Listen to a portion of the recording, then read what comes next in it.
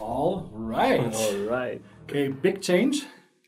Yes, huge change. Um, you can see I've done almost everything of the the gold, Mhm. which is in that case that with uh, with this figure it's almost uh, of the armor Yeah. uh, because it's it's really a golden shiny armor.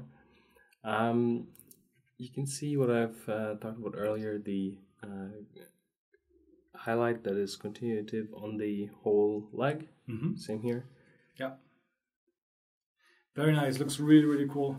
And um, I think I spent about what three hours, three and a half hours on all of this gold. Mm-hmm. So um, yes, it is. Uh, it is a lot of work. Uh, It's not just uh, spraying it gold and dipping it in an army painter, but I think the result speaks for itself.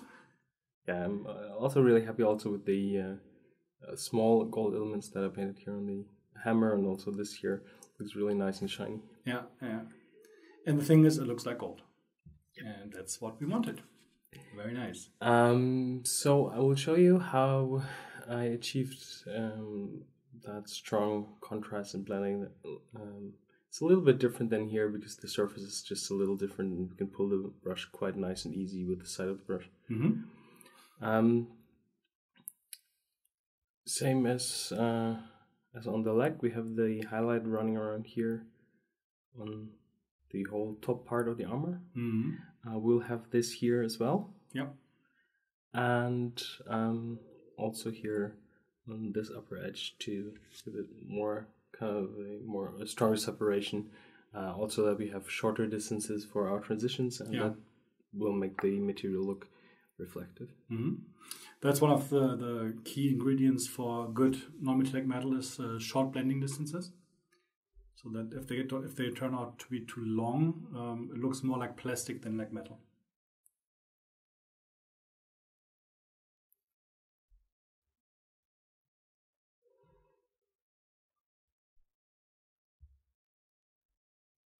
But now that you've painted, let's say, 95% of the gold, uh, how does that miniature feel as far as painting is concerned?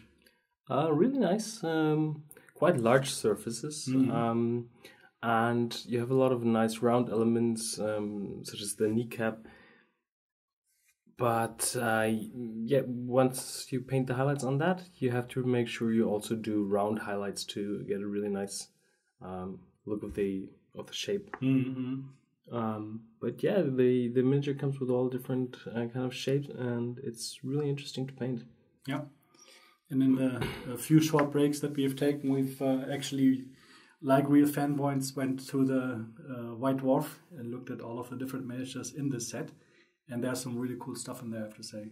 Like uh, the guy with the flay and chaos is is really cool. Actually, some of the chaos guys are really really awesome. Yeah. Um, so I'm just continuing with a little bit brighter highlight here on the top.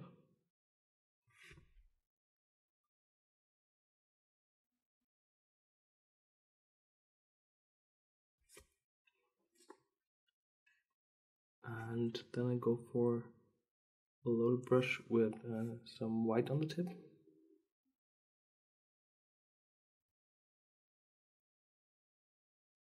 and create a very strong blending to one side. Yeah. And again, you can see the power of a loaded brush. That was like a two second blending. And uh, if you achieve that, it feels really good. now, even Ben doesn't always get it right. Sometimes he has um, too much of the tip color in there. Um, that's usually a little bit more of a problem than if it's too little. If it's too little, you can always uh, do it again.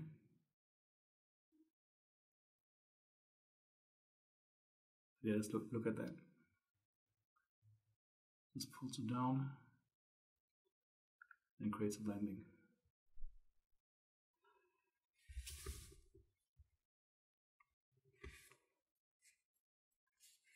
Okay.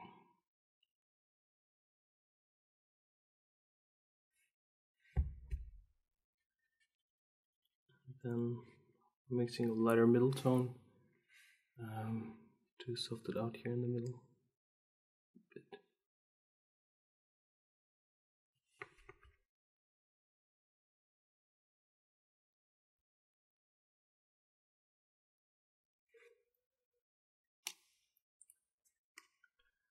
And just with a clean brush and some white.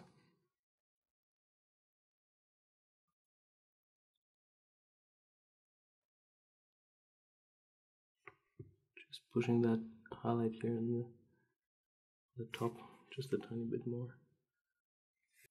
You can see how really small, but how extreme that little highlight is there. It's just really white on the smallest area. And that's exactly what you're going for for non-metallic metal. And now for a warmer shadow to the side. I'm mixing a bit more the tank brown to the shadow color.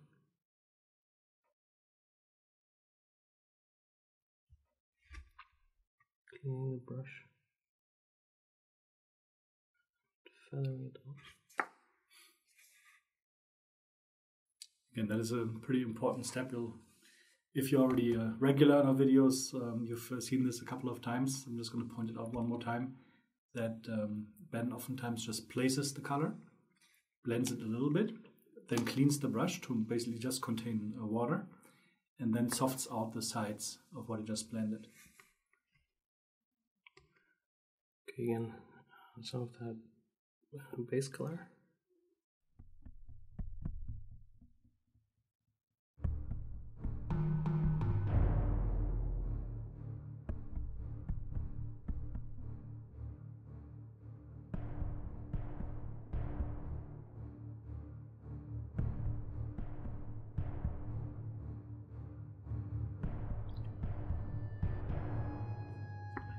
And again, base color on the brush. White to the tip.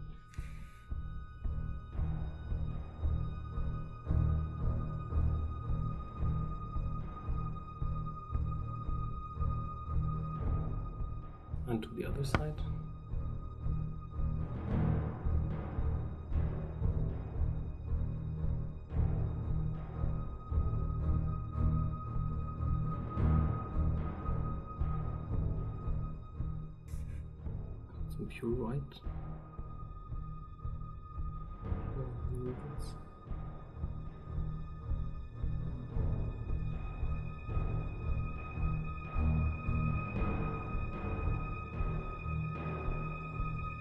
So one of the things that you see that's different uh, when it comes to highlighting of edges uh, that uh, Ben is currently doing, he's not creating an equally thick, all bright highlight line all around the shoulder pad, but only on areas where he really wants the lights to be.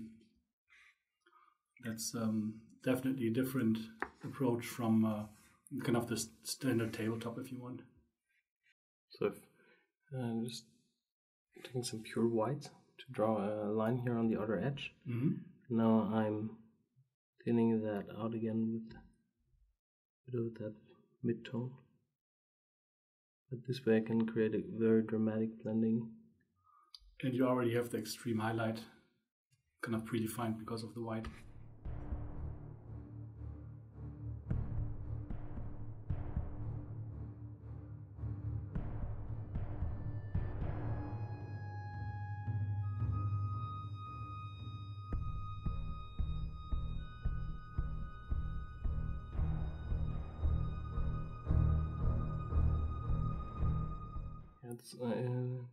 Important to draw that uh, highlight uh, line here uh, just along the edge Mm-hmm. because that will give us later on a nice separation uh, once the blue is in place. Yeah.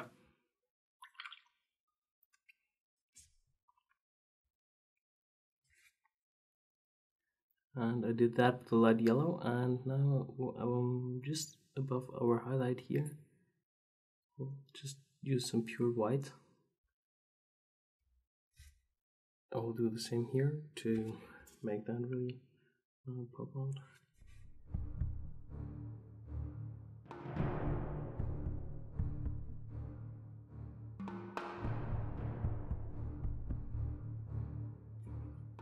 It's a little bit too uh, here too hard in the transition.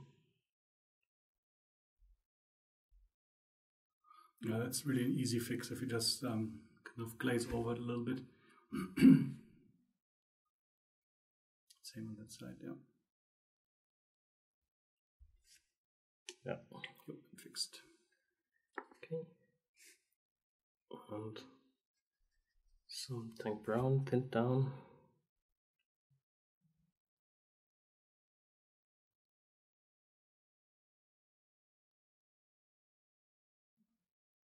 Just to make it even a little bit bit warmer.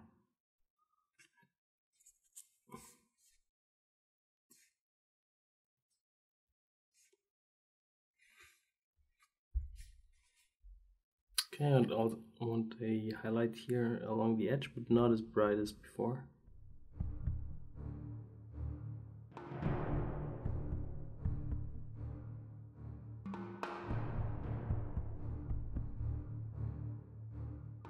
Ben sometimes kind of interrupts that line a little bit. He creates a couple of uh, lighter highlights there.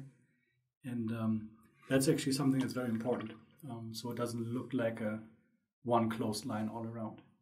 Also, you saw the different um, brightnesses of different highlight lines he used there.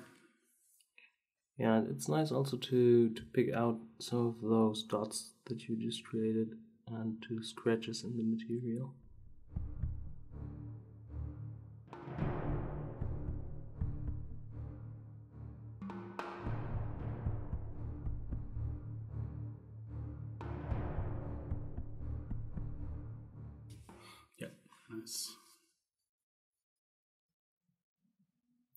Right.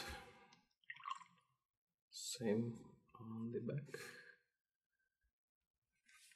So once more, just uh, check exactly what uh, Ben's brush is doing.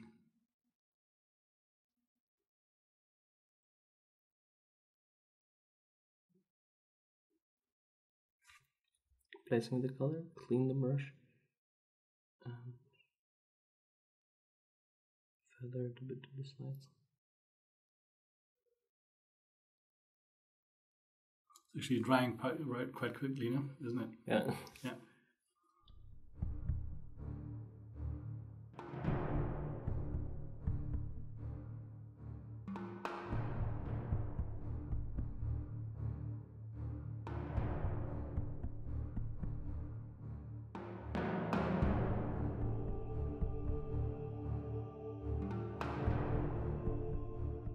Okay, uh,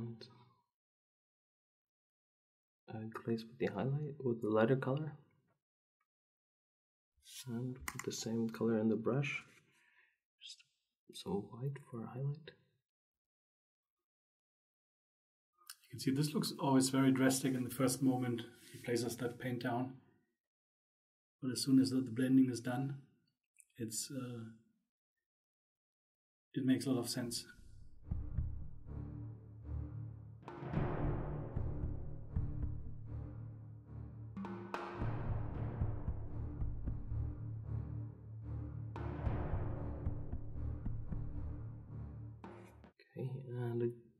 Glaze over that to soften it up.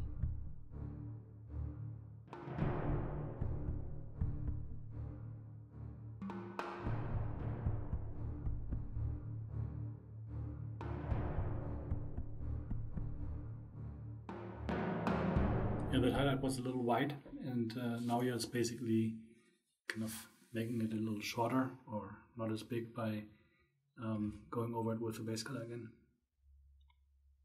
Yeah, and I will also do the uh, as I did on the other side with the uh, glaze with the um, tank brown. Mm-hmm. Also again to make it darker and more contrasted.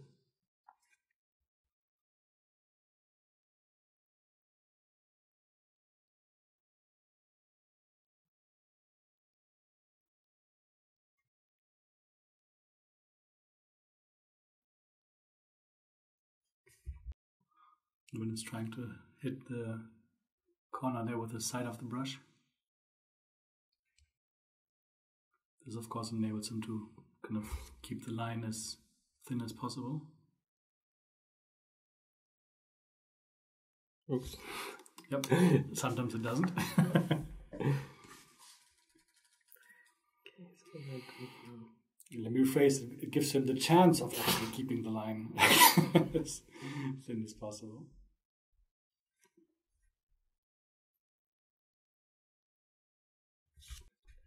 Okay, and some also some small scratches where the blending is not as clean as I wanted to. Yeah, as I said earlier, great way to hide blending mistakes.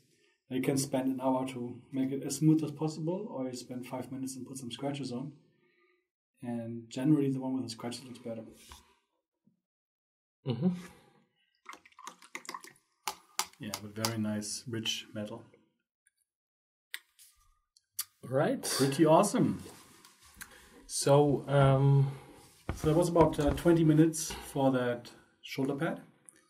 And now, if you're an army painter, you might think, "Whoa, I'm going to paint a whole miniature in 20 minutes." Um, well, probably not, but but um, that's that's um, I want to say a pretty good result.